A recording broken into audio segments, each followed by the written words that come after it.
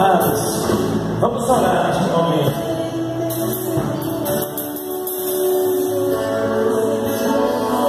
Nós vamos orar neste momento em nome de Jesus. Eu peço aos irmãos que intercedam, fortalecendo cada dia mais a vida deste rapaz, esta família. Quero mais uma vez parabenizar pelo presente que Deus tem dado a esta família.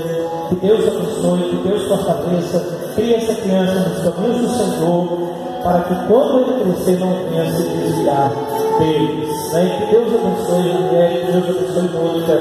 Oremos ao Senhor neste momento.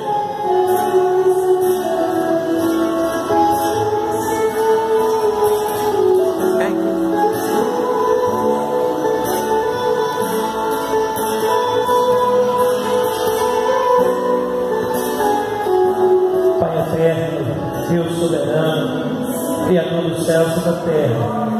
Neste momento, meu Senhor da glória, nós estamos felizes e alegres, porque até aqui o Senhor tem nos abençoado, tem nos fortalecido.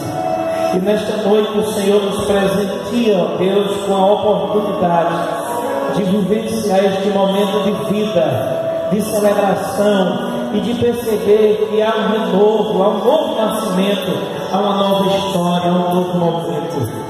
Pai, no nome do teu filho Jesus, eu te peço, Senhor da glória, pela vida de Mônica, pela vida de Raquel, mas esta criança, Pai, abençoa ela, restaura cada dia mais, Senhor, aplanando os caminhos dela, Senhor da glória, fortalecendo, abençoando, ó Deus da glória, para que ela venha crescer saudável, Pai Pai, repreende toda enfermidade, tudo aquilo que não te agrada sobre a vida desta criança. Pai, nós te pedimos, Senhor, por este momento, apresentamos diante de Ti, Senhor da glória, na certeza que Tu és Deus protetor, Tu és Deus cuidadoso, na certeza, Pai, que Tu és aquele que, agindo, Senhor, ninguém, ninguém impedirá.